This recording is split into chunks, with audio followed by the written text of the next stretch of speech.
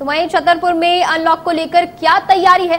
इसे लेकर जिला पुलिस अधीक्षक ने इंडिया न्यूज़ से खास चर्चा की है। देखिए इस रिपोर्ट में। इस कोरोना काल में यदि बात करें पुलिस को लेकर के तो पुलिस के तमाम चेहरे देखने को मिल रहे हैं, चाहे वो जनसेवा के रूप में या सख्ती करवाने को लेकर के। हमारे साथ छतरपुर ज़िले की पुलिस अधीक्षक महोदय मौजूद हैं, उनसे कुछ जानते हैं कि अनलॉक को लेकर किस तरह की जिला में तैयारी की जा रही है और किस तरह से क्या कुछ सख्ती देखने को मिलेगी। जी सर, इंडिया जो बहुत बहुत स्वागत है सर। जानना चाहेंगे कि अनलॉक की प्रक्रिया को लेकर किस तरह से आपके द्वारा तैयारी की रही जी, आपका बहुत बहुत धन्यवाद। जनता कर्फ्यू जो अभी तक लगा हुआ था, उसमें आने वाले समय में काफ़ी रियायतें दी जाएँगी।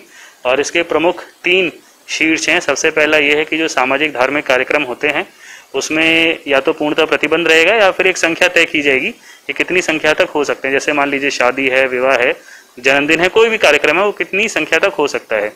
इसके अलावा खासकर जो कमर्शियल एक्टिविटीज़ हैं, व्यापारिक जो संगठन हैं, उनके द्वारा कुछ सुझाव दिए गए हैं, जिसमें जो राशन की दुकानें हैं मेडिकल हैं, दूध, दही, ये सब की जो दुकानें हैं, उनको भी रूटीन वे में लगातार खोला जाएगा। इसके अलावा कुछ प्रतिबंधित भी है, जैसे आपके मॉल्स हैं शॉपिंग मॉल्स हैं, बड़े पैमाने पर जहाँ पे होलसेल या रिटेल का काम होता है तो उनको अभी प्रतिबंधित क्षेत्र में रखा जाएगा। खासकर जैसे स्कूल्स हैं, वहाँ पे भी जो बच्चों की पढ़ाई है, वो ऑनलाइन ही होगी, और स्कूल में जैसे बच्चे जाते थे, उसमें अभी उतनी रियायत नहीं दी गई है। सर यदि जो सील दुकानें हैं उनको भी किस तरह से खोला जाएगा और पुलिस का क्या रोल रहेगा इसमें खास तौर पर लेकर? सभी जो हमारे व्यापारी भाई हैं उनसे अपील है कि सोशल डिस्टेंसिंग के नियमों का पालन करें हमेशा मास्क पहने। और जो दुकानें सील हैं उस पर अभी फैसला यही किया गया है कि इनको जल्दी से जल्दी खोला जाए जिससे कि ये अपनी जो डेली के जो कार्रवाइयाँ हैं उनको सुनिश्चित करें।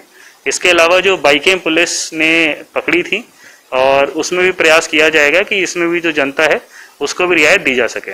सर यदि बात करें जो भीड़ का क्षेत्र है जहाँ पुलिस ने कई बार सख्ती भी दिखाने को पड़ी है और पुलिस ने कई बार संकल्प योजना के माध्यम से हर घर तक मदद करने की भी कोशिश की तो इन क्षेत्रों के लिए क्या कुछ पुलिस की तैयारी रहेगी कि सख्ती भी बरती जाएगी जरूरतमंदों की मदद भी रहेगी इस समय पे? इसमें जनता व मीडिया और जो बाकी सूचना तंत्र है उनके माध्यम से संभावित भीड़ जहाँ पे सोशल डिस्टेंसिंग के नियमों का पालन नहीं होता है उनका पहले से ही पूर्वाकलन होगा और ये प्रयास किया जाएगा समझाइश के माध्यम से कि ज़्यादा भीड़ किसी भी जगह पर इकट्ठी ना हो।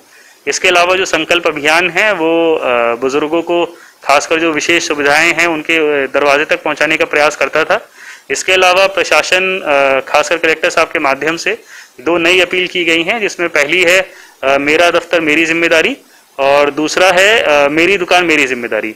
इसमें जितने भी लोग हैं जो अपना व्यापारिक काम करते हैं वो स्वयं और अपने जो परिवार हैं उनका वैक्सीनेशन कराएँ जिससे कि आने वाले समय में जो कोरोना संक्रमण है उसकी चेन भी टूटे और ये इन्फेक्शन दोबारा इस ज़िले को ग्रसित ना करे।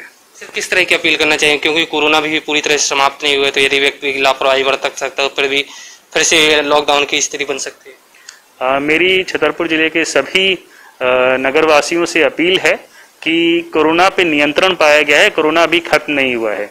तो जो नियम तय किए गए हैं, उनका हमेशा पालन करें।